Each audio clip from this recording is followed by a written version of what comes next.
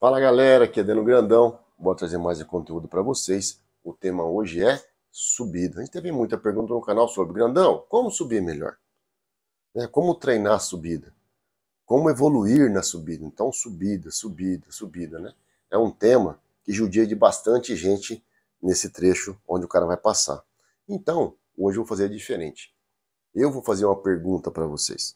Você sabe como você se identifica onde você erra e por que você não sobe bem? Não sabe? Então fica aí que eu vou trazer 10 itens para você fazer um checklist e no seu dia a dia saber identificar por que você não sobe e começar a treinar para evoluir nesse quesito. Então, acompanha agora aí.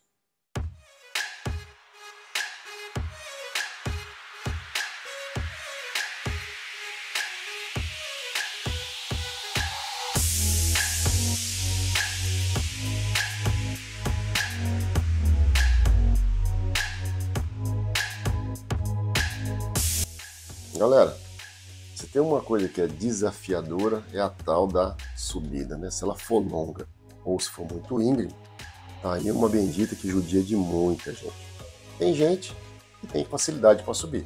Já tem um conhecimento legal na bicicleta, já conhece vários itens, sobe mais fácil. Tem pessoas que vão estar sofrendo. Como tem pessoas que passam mal na subida, pode ter náusea, pode ter tontura, entra em fadiga muito rápido, né? E isso tem uma série de fatores que levam você a isso.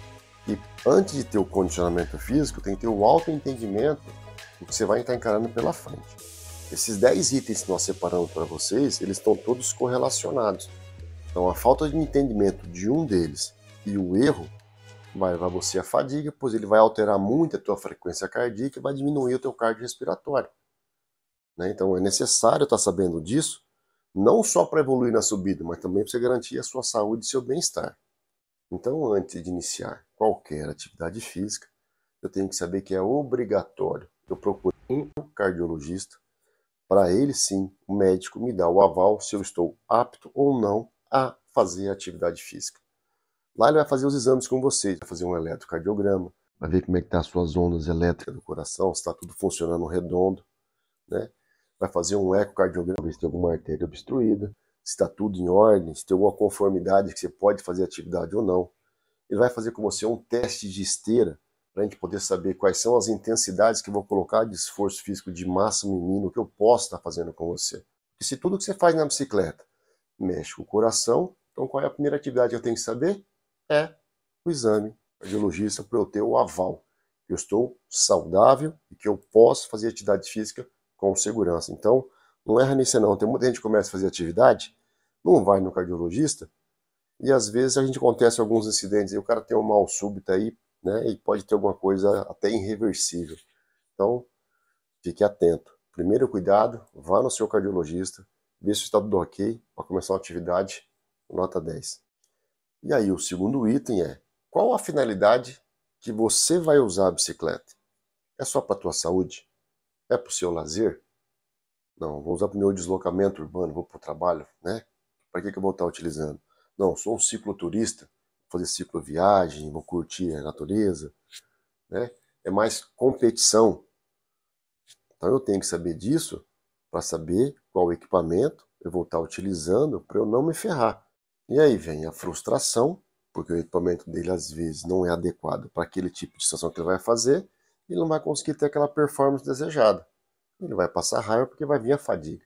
O cara vai ficar achando que é falta de condicionamento físico, às vezes não é. Então, para cada finalidade correta, tem o seu equipamento correto, de acordo com o que você vai fazer para se divertir, passar bem as subidas e legal.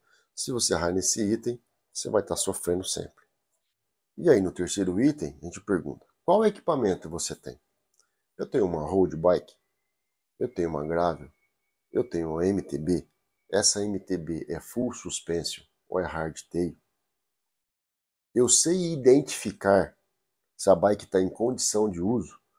Pneus calibrados, suspensões ajustadas, a bike devidamente lubrificada, marcha regulada certinho, sem estar tá pulando. Está tudo ok? Então eu tenho que ter esse entendimento do meu equipamento, que é de fundamental importância. Se você vai montar em cima e sair andando, então, se alguma dessas coisas estiver desregulada, não tiver acertado, o cara não sabe identificar, ele vai sofrer. E ele vai ficar achando que às vezes isso pode ser falta de condicionamento porque ele vai fazer mais força, ele vai entrar mais em fadiga porque o material dele não está funcionando perfeito. Então, fica atento a esse detalhe aí. Aí vem o quarto item. Você conhece os recursos e as funções que a tua bike permite você estar tá utilizando? Né, o shifter. Se é Shimano, se é Izan, quais as funções dele? Se é two-way, se é só com o dedão indicador, você sabe as funções? Se apertar aqui troca 3, se apertar troca 5 de uma vez, sabe usar esses recursos na troca de marcha? A sua bike, a trava em cima é remota ou é embaixo manual? Qual tipo de trava que você tem? É a ar, a suspensão? É preload? Quando eu falo, você sabe ajustar o side da suspensão ou a regulagem de retorno, o cara fala, meu, tem isso na bicicleta? Eu não sabia que tinha. Tem. E isso interfere no seu uso. Uma suspensão de ajustada ou não sabendo usar a troca de marcha, na hora que eu preciso saber usar, a marcha vai engasgar. E a suspensão fora da calibragem, ela vai abaixar demais também, você faz mais força no braço e isso afeta o seu cardiorrespiratório. Por isso que tem a trava para você bloquear, para você poder respirar na subida. Então você tem que saber usar o equipamento, tem que saber usar o equipamento e saber os recursos que o seu equipamento lhe oferece, senão você vai sofrer também. Aí eu vou para o quinto item. Qual a transmissão da sua bicicleta? Quantas coroas você tem? Você sabe me dizer se é uma, se é duas ou três coroas? Atrás no seu cassete, 8, 9, 10, 11 ou 12 velocidade?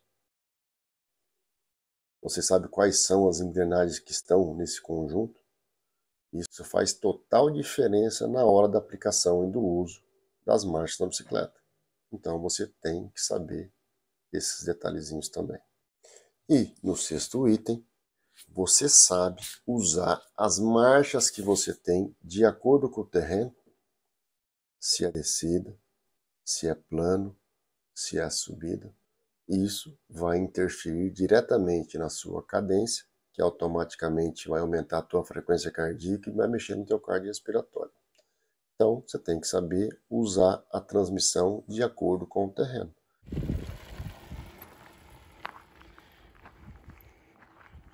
Tem que aprender a usar o brinquedo. Se você errar nisso, botar uma carga muito pesada, você vai entrar em fadiga, vai entrar em uma acidose metabólica. Você vai sofrer. Se você entrar com a transmissão muito leve, vai faltar o coração, vai acelerar você vai perder cardio respiratório, você vai travar também. Então, o saber usar as marchas da bicicleta é de fundamental importância para você estar tá subindo bem. Então, fica atento a esse item aí também. E no sétimo item, eu te pergunto: a sua bike está ajustada corretamente para você? Se você usa sapatilha, o taquinho está na posição correta? Se você usa um pedal flat, o seu tênis está adequado à sua atividade física? Tudo isso você perde potência. A altura do cilindro e a distância está ajustada, senão vai dar dor no joelho, pode dar dor no lombar. O seu cilindro está corretamente no seu tamanho, na sua curvatura e na posição correta, tudo isso vai gerar desconforto. Né? A altura da sua bicicleta está corretamente ajustada de acordo com a sua flexibilidade? Os shifters, luva, manete estão na posição correta para você ter habilidade, mais controle na bicicleta?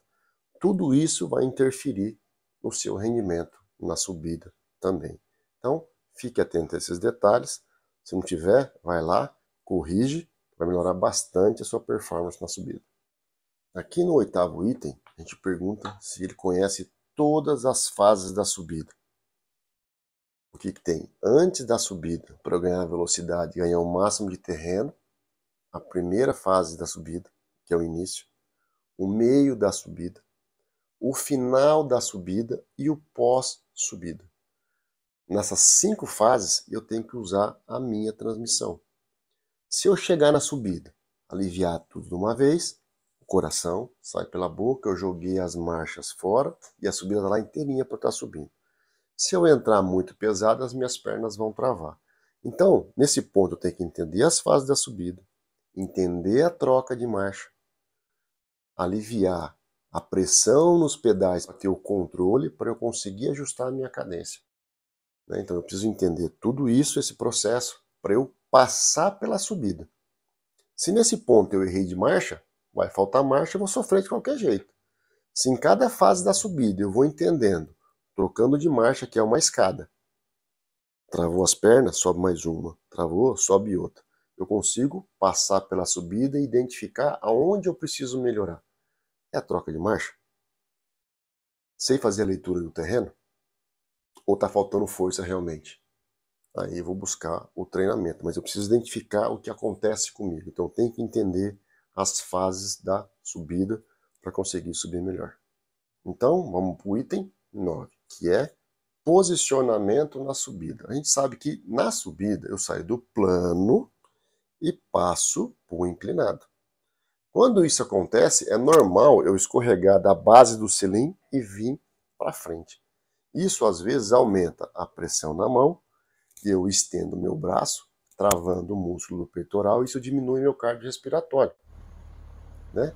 E as costas mais eretas, às vezes faz doer a minha lombar. Então, se eu sentir, dá uma verificadazinha, recua um pouquinho, relaxa os braços, que você vai respirar e vai estar aliviando essa pressão. Saber olhar as curvaturas do terreno, onde é mais íngreme e onde é mais suave, para eu escolher a posição que eu vou estar passando na linha para facilitar a minha passagem. Aliviou o terreno, eu consigo tirar a mão do guidão, pegar a caramanhola e fazer minha hidratação, ou colocar a mão no bolso, nas costas e fazer minha suplementação, eu tenho que analisar em que ponto da subida eu me posiciono para conseguir fazer isso. Saber se eu pedalo em pé, em que momento eu faço a pedalada em pé, se é para aumentar a velocidade e passar aquele trechinho difícil, ou se eu vou ficar sentado na minha cadência de controle, marchando e indo embora. Então você tem que aprender a tomar essa decisão, você não se ferra lá na frente. Então, uma hora você vai errar. Analisa, o que, que eu fiz de errado? Subi em pé, minhas pernas doeu, então não. Vou permanecer sentado, marchando, que vou ter um rendimento melhor.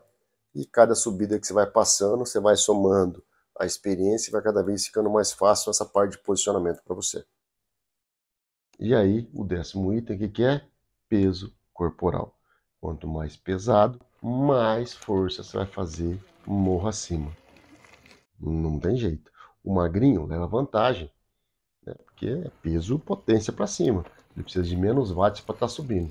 Se você fizer uma conta de 6 watts por quilo de massa corporal, você vai ter mais ou menos uma média de uma noção de quanto você vai precisar de potência para estar tá levando o teu corpo para cima. Né? Então, o jeito aí é baixar peso, achar um nutricionista, uma atividade física orientada, a intensidade correta, que a bicicleta vai te ajudar muito nesse quesito em baixar peso aí. É só fazer a coisa certinha que dá resultado. Se não, você vai subir sempre sofrendo. A gente fala que a força acaba, a resistência não, e lá em cima o Capitão Gancho está para te pegar. Então você fica ligeiro e treina. Não bobeia não, que nem se você se ferra bastante. Isso aí, galera. Então, fica aí as dicas. Agora você tem como saber identificar o que você faz de errado ou se você faz correto, ok, né? Mas você já sabe como identificar porque você sofre na subida. Identificou, aí fica fácil. É só procurar um profissional ou um amigo, né? Ou grupo de pedal, trocar aquela ideia, começar a fazer o treinamento que a coisa certa e corrigir o erro e tudo vai ficar mais fácil na subida. E se não fizer, já sabe, né? Vai ficar sempre sofrendo. Beleza? Então, como de sempre, se gostou, vai lá, deixa aquele like, aquele joinha, compartilha com os amigos e bora mandar perguntas os próximos vídeos. Valeu?